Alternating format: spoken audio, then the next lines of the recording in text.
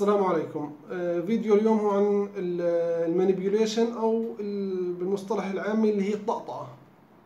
مطقطق العمود الفقري.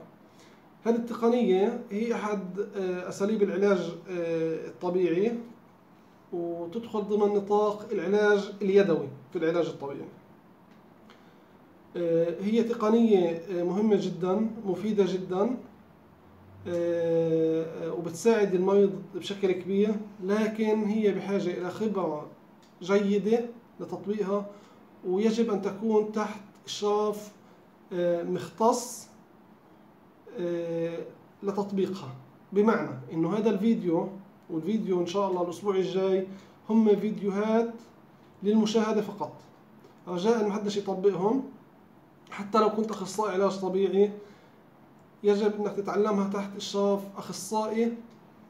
آه، يعلمك كيف تمسك يعلمك كيف تحط ال- الوضعية صح وكيف تعطي القوة ال- ال- ال- الثراست بشكل صحيح.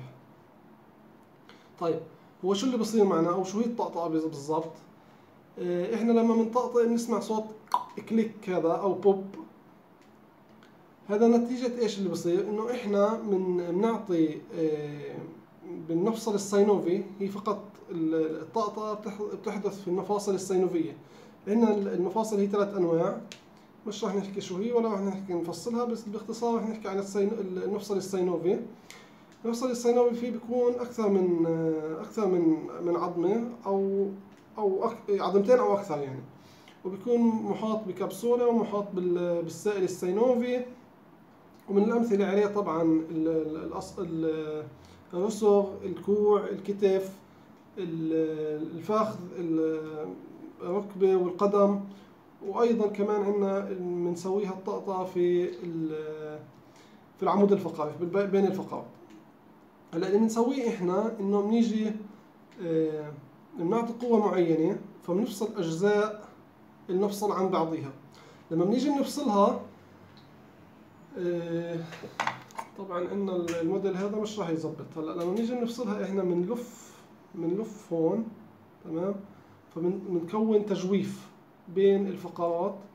خلال هذا التجويف طبعا مش راح يبين لأنه هذه ثابتة. خلال هذا التجويف بت- بتكون عندنا آه، فقاعات أو بتدخل بتدخل فقاعات ال- الغازات.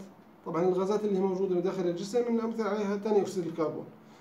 فبتدخل في ال في ال بين هذا المفصل اللي إحنا عمالنا آه، بنعمل له عملية الإزاحة أو ال thrust هاي يعني التطقيع ال manipulation ف آه، بتكون عندنا الغازات بتصير على شكل فقاعة. هذه الفقاعة سواء ما إنها آه، بتنفجر أو بتفقع بال- بالمصطلح العامي فبتطلع لنا الصوت اللي بنسمعه اللي هو هذا هيك بتسمعه شو اسمه. هلا ممكن في بعض الأحيان انها ما ما تكونش هذه الفقاعة فما بنسمعوش لكن إحنا بهمنا عملية التكنيك أو عملية الطريقة اللي اللي بنسوي فيها. يعني سواء سمعته أو ما سمعته للصوت العملية صحيحة. إذا كنت بتسويها طريقة صحيحة بكل تأكيد يعني. طيب هلا شو الدواعي ال- شو الحالات التي تستدعي إنه نسوي لها عملية الطقطقة؟ هم شغلتين والحكي هون كمان مرة بنعيد وبنذكر إنه طقطقة العمود الفقري أنا بحكي ما, ما بحكي عن بقية ال- المفصل كل ب- ممكن إنه نسوي لها طقطقة.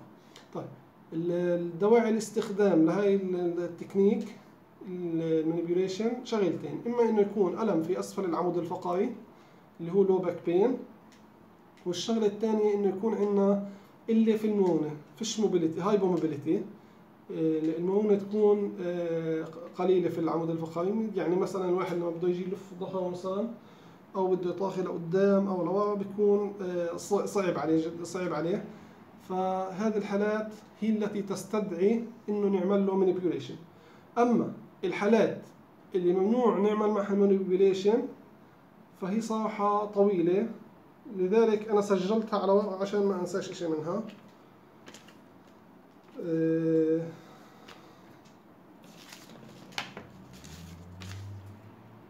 طيب. أول حالة عندنا تمزق في عضلات وأربطة الظهر.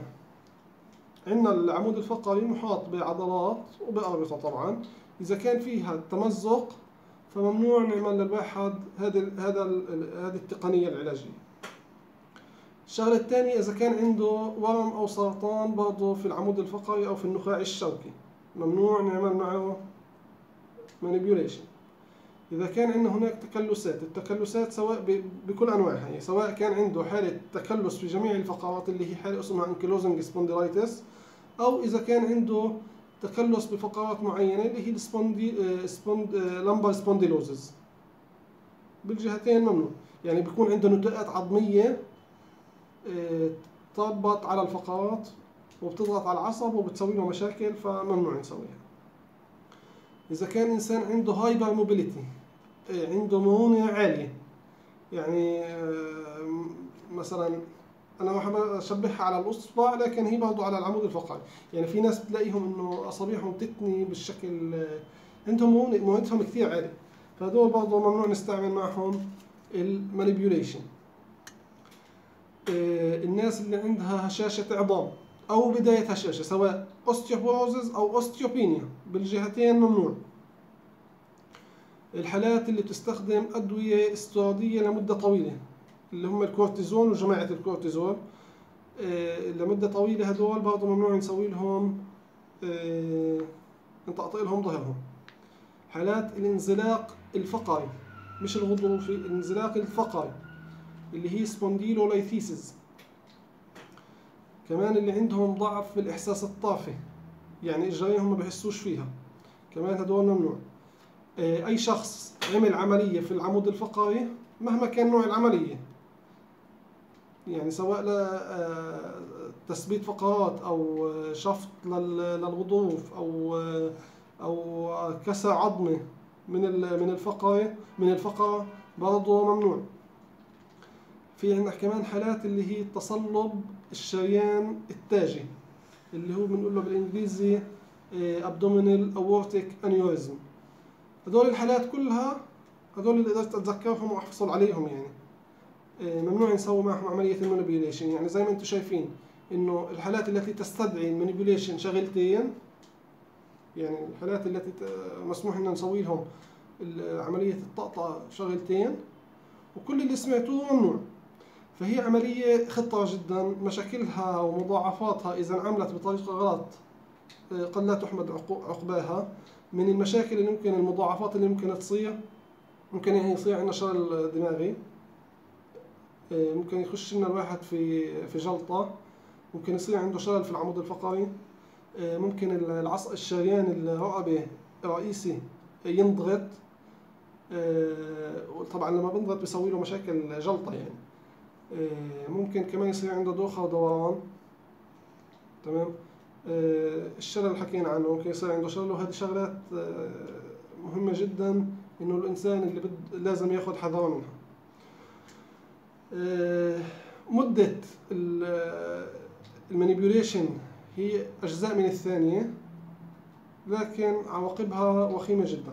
عشان هيك رجاء زي ما قلت إنه هذا الفيديو هو فقط للمشاهدة. ما تطبقوهوش آه، إحنا هلأ راح نسوي لكم آه، نفرجيكم عملية ال manipulation كيف بتصير وفيديو الجاي إن شاء الله الأسبوع الجاي إيه، راح أفصله يعني راح يكون نفس الفيديو فيش فيه أي اختلاف.